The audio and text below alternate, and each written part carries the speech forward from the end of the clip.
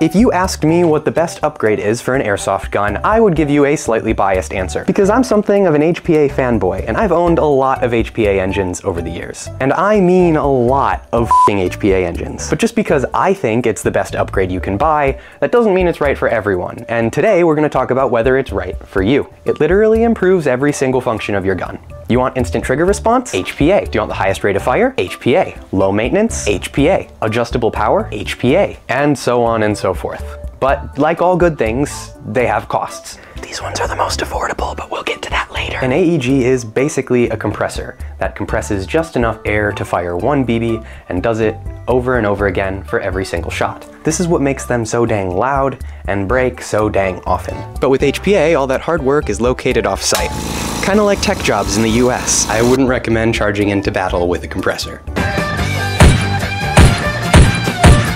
So instead of compressing gas for every BB, you use pre-compressed gas of some kind like HPA or CO2. You can wear a tank like this on your back or belt and use an air hose to connect to your gun, or alternatively, you can mount it below the grip like a paintball gun. So one downside to HPA is that you need to buy a whole new tank every single time you run out of air kidding. I'm kidding. That's I'm kidding. No, you need to buy one tank and just get it filled. Most fields will fill your tank for free. A lot of scuba shops will do it for a small fee. They make pumps to do it manually, or you can get a compressor that's specialized for PCP. I guess I'm Dr. Seuss now. Anyway, this isn't the kind of PCP that makes you eat your mom's face off.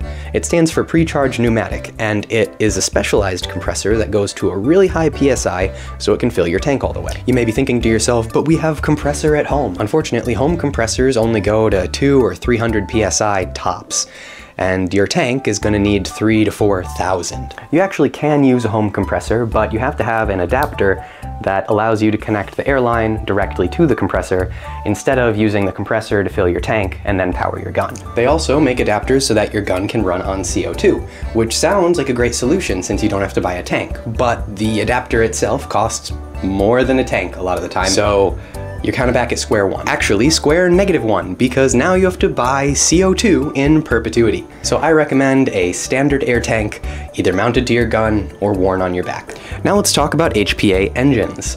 The engine itself is the most expensive and most important part of your build, but depending on if you're fluent in girl math or not, uh, it could save you money. You see, comparing an AEG out of the box to an HPA build is kind of like comparing your grandma's smart car to Kyle's WRX with 20 grand in upgrades. Except the WRX will probably blow an engine way before your HPA engine ever dies. Hmm. Bad comparison. Basically, if you want to compare apples to apples, you have to look at an upgraded AEG that gets over 45 rounds per second, has hot swappable springs, and programmable MOSFET, and even then you still won't get as many features as an HPA build. Plus, if you add up all these parts and compare it to an HPA engine, especially one on sale, HPA comes out ahead. If I still haven't scared you away from using HPA yet, uh, let's talk about engine types. Open bolt engines rest with the nozzle in a retracted position. When you pull the trigger, it moves the nozzle forwards to load a BB and then releases some gas to fire it. After that, it retracts the nozzle to load another BB, and it repeats through these cycles. Closed bolt, on the other hand, rests with the nozzle in a forward position, and when you pull the trigger, it releases gas to fire the BB. It then retracts the nozzle, loading another BB, and moves the nozzle forwards back to the resting position. The third option is a hybrid system, which is kind of a mix between the two. It rests with the nozzle in a rearward position. When you pull the trigger, it loads a BB, just like an open bolt, except there's a longer delay before the gas is released to fire the BB.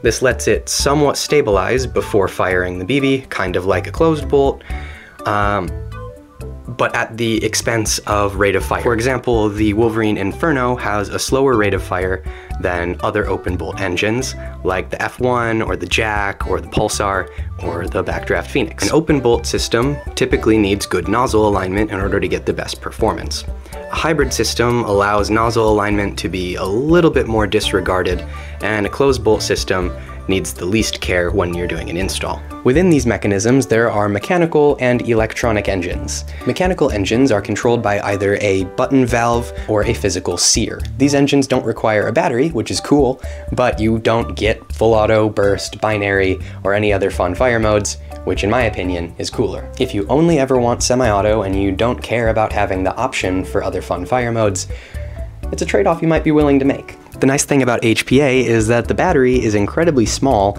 and even a little guy like this can last multiple days. So I don't mind occasionally charging a battery if it gets me all the bells and whistles. And having electronics control your system means that there are less required parts, which keeps costs down, and in the case of Backdraft Innovations, we pass that savings along to you. Now that you know roughly how these engines work, it's time to pick one. First, we've got to mention the big dogs, Polarstar and Wolverine. These guys have been in the game for over a decade. Polarstar came out with the first HPA engine, and it was a full drop-in conversion kit called the Fusion engine. They still sell these today, and it replaces the whole gearbox inside your M4. But the majority of the HPA market is people buying drop-in conversion kits, which replace the piston assembly in your gearbox. Polarstar sells the Jack, the F1, the F2, and the Kythera. The F2 is basically a drop-in version of the Fusion engine, and it has two solenoids, one controlling the nozzle and one controlling the release of gas. This gives a lot of control and tunability, but your wallet's gonna hurt. The F1 and Jack are both single solenoid open bolt engines, and the Kythera is a closed bolt mechanical that only works with semi-auto. Wolverine came out with the SMP, which later became the Hydra, and that allows for offset nozzles for converting things like M14 or the P90. The SMP is basically discontinued because they came out with the Inferno, which is their hybrid engine. They also make the Reaper, which I think they stopped making as a drop-in kit. I'm pretty sure it's only available for the MTW now. The MTW is a complete HPA rifle and it's Wolverine's flagship product. I'm sure they'll always sell drop-in kits, but they seem to be putting a little less emphasis on it now than they used to. There's also Redline with the N7. They make a mechanical and an electronic version,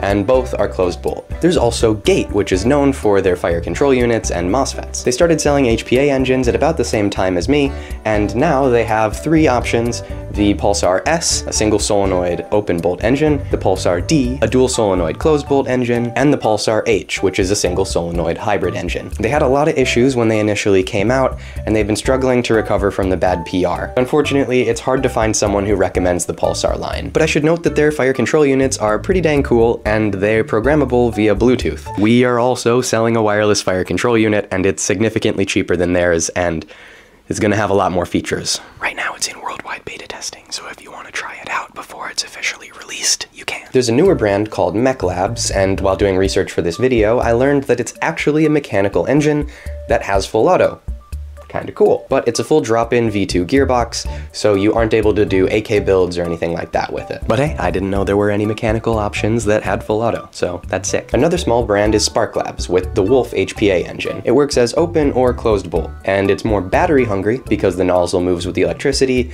but it's more air efficient because it doesn't waste any gas. Who am I forgetting? Hmm. Oh! My brand, Backdraft Innovations, is trying to make HPA more widespread and more affordable. The Phoenix is a low-cost open-bolt engine with burst, binary, full auto, semi-auto, and all the other fun fire modes. I mean, even when it's not on sale, most people recommend the Phoenix over the Jack or the F1, and both of those are close to $400, so that's gotta count for something. But if you don't even give half a about how much money you spend, which is crazy work in this economy, then I would recommend the Polar Star F2 if you want the maximum rate of fire, the Spark Labs Wolf if you want maximum air efficiency, or the Wolverine MTW if you want out-of-the-box performance. Or a three-pack of Phoenixes if you want to convert multiple guns to HPA. If it has to be mechanical, I would recommend the Polarstar Kythera for its realistic trigger pull, the N7 Milsim for its durability, and I guess the Nexus engine. I haven't heard much about it, but it has full auto. If you want the best bang bang for your buck, the Kythera is a good value, but you just can't beat the Backdraft Phoenix. On a regular day, the Polarstar Kythera is the most affordable name brand option at $280, and the Phoenix has an MSRP of $250. But it's holiday season, and today is not a regular day. For the rest of the month, we're giving $30 off, which makes the engine only $219, plus free shipping.